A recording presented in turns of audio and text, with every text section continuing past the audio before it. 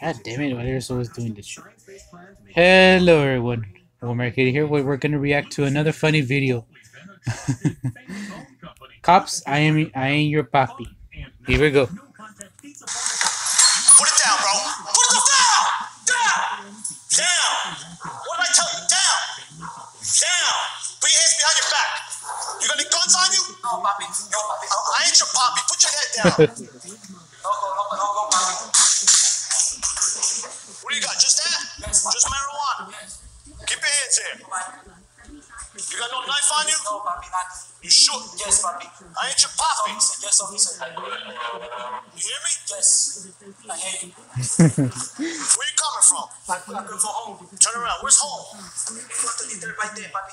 You were in the projects just now. What are you talking about home? Don't lie to me. Where did you just come from? Break the break. From the projects. Yes. Well, what are you doing? I was smoking the, the, the, the tobacco. The tobacco? Yes, You officer. sure? Yes, officer, I'm sure. You wanna go home, papi? Well, look, you call me Poppy again? Call me papi again.